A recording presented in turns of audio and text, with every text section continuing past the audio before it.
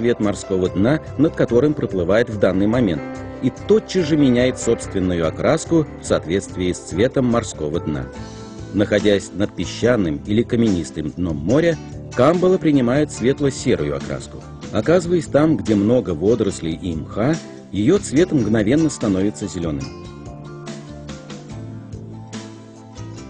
Камбала предпочитает отдыхать в песчаных местах, причем ее цвет и рисунок поразительным образом в мгновение ока принимает соответствующую песчаному окружению окраску.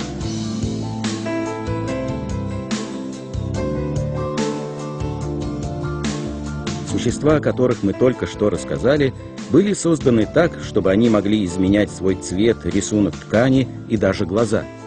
Глаза этих существ, остающиеся на поверхности, когда их обладатели зарываются в песок, могут спокойно исследовать обстановку наподобие перископа подводной лодки.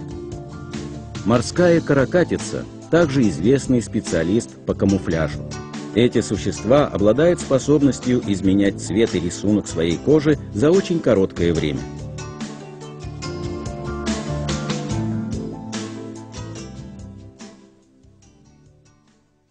Изменение цвета в соответствии с окружающей средой может рассматриваться как ясное свидетельство существования сознательно созданного механизма защиты у этих существ то же время рыбы не обладают ни разумом, ни сознанием, которые обеспечивали бы мгновенную смену окраски в соответствии с цветом дна. Даже если предположить, что рыбы – разумные существа, как тогда они могут знать, какие физиологические механизмы способны вызывать изменение цвета? Как эти механизмы размещаются в их теле и как они активизируются – Рыба, не умеющая ни думать, ни сознательно планировать свою жизнь, не могла самостоятельно развить в себе подобные качества. Также очевидно, что такие сложные системы, отвечающие за смену окраски, не могли сформироваться у морских обитателей случайно. Планирование столь тонкой системы, наследственная передача этих особенностей – Кодирование необходимой для этого информации в генетической системе живого существа вне сомнения является свидетельством высшего творения. Творец всего этого – всемогущий Аллах, создающий живые существа из ничего и наделяющий их необходимыми системами для собственной защиты.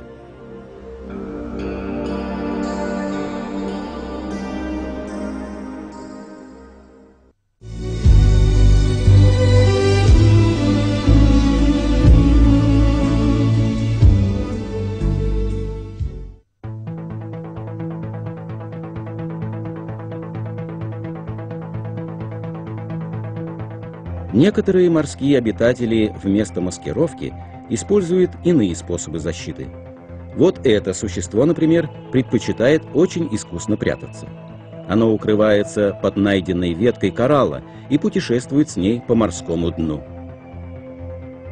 Эта молодая особь рыбы-пузыря не очень хороший пловец, поэтому она не в состоянии быстро ускользнуть от хищников, которых может привлечь. Однако у рыбы-пузыря есть превосходный способ защиты от возможного нападения. Если возникает опасность, рыба-пузырь раздувается до довольно внушительных размеров. Хищник уже не может проглотить столь крупную добычу, и ему ничего не остается, как удалиться прочь. А это рыба-дикобраз, которая обладает сходной системой защиты. Будучи значительно крупнее рыбы-пузыря, рыба-дикобраз имеет на своем теле горизонтальные шипы – Почувствовав опасность, рыба-дикобраз мгновенно раздувается до размеров в несколько раз превосходящих ее нормальный размер и превращается в утыканный иголками шар. Такой внешний вид быстро отбивает аппетит у желающих полакомиться хищных рыб. Если задуматься, методы защиты, используемые этими рыбами, вполне разумны и искусно спланированы. Тела рыбы-пузыря или рыбы-дикобраза специально устроены таким образом, чтобы отпугивать врагов и наделены рефлексами, позволяющими делать это своевременно. Тем не менее, эти существа, не обладающие ни разумом, ни сознанием, вряд ли могли выработать надлежащие рефлексы в собственных телах и разработать подобную тактику защиты. Совершенно очевидно, что существа эти появились на свет уже обладая данными качествами. Аллах, повелитель природы, наделяет этих рыб подобными уникальными средствами защиты так же, как он наделяет все живое особенностями, необходимыми для жизни в той или иной среде. Креветка-богомол Существа, о которых мы только что рассказали, составляют лишь малую часть всего бесчисленного разнообразия видов, обитающих в бескрайних океанах Земли. Тысячи других видов морских обитателей используют для своей защиты совершенно неповторимые системы. Еще один пример этого – креветка-богомол. Обладая незаурядной внешностью, это существо живет в укромном убежище, которое она выкапывает себе в песке. Поисках пропитания креветка высовывается из своего убежища и, пользуясь своими клешнями как мощными молотками, откалывает мидию, которую находит поблизости. Затем она резкими ударами разбивает мидию на кусочки и съедает ее.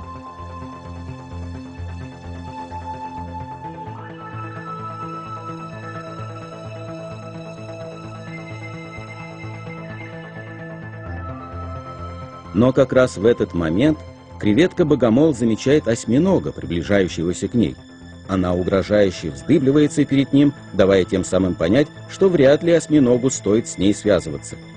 Если осьминог не внемлет предостережению, креветка наносит ему удар прямо в глаз. Удары будут сыпаться до тех пор, пока враг не уберется во свояси. Креветка действует так, как если бы она знала, что глаза – это самое уязвимое место на теле противника. Поэтому она направляет свои удары прямо в глаза осьминога. Креветка преследует осьминога до тех пор, пока не удостоверится, что отпугнула его своей атакой, и только после этого возвращается в свое убежище.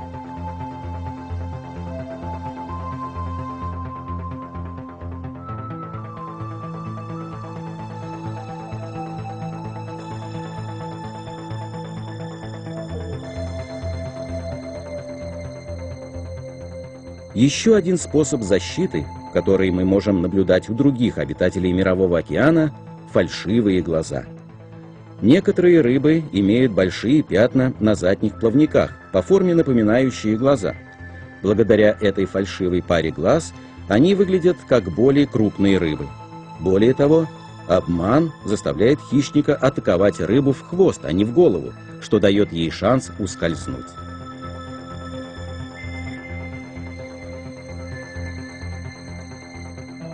Настоящие глаза рыбы находятся там, где по ее телу проходит широкая черная полоса.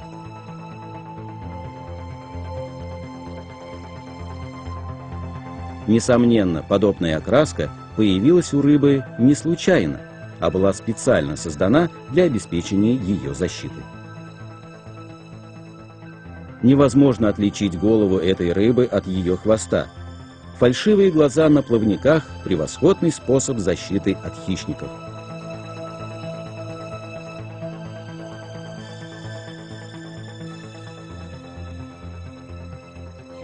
Но вот еще один повод для удивления. Веточки и отростки, между которыми плавает эта рыба, на самом деле не водоросль, а морской конек. Рыбка-клоун живет там, где никакому хищнику ее не достать. Растение, вокруг которого она так безмятежно плавает, на самом деле вооружено сильнодействующим ядом, который может парализовать любое живое существо, которое его коснется. Однако рыбке-клоуну этот яд не причиняет вреда, так как прозрачная пленка на коже рыбки нейтрализует ядовитые капсулы этого растения. Подплывая к нему, рыбка задевает брюшком его ядовитые капсулы и начинает потихоньку взрывать их. Благодаря прозрачной пленке яд не причиняет ей вреда.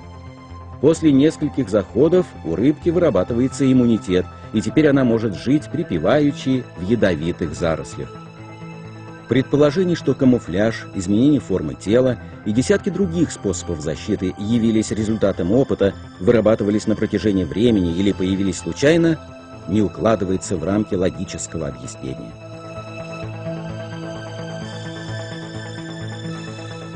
Живые существа, не умеющие логически мыслить, используют системы и способы, специально для них сотворенные. Только всемогущий Аллах наделяет их этими свойствами и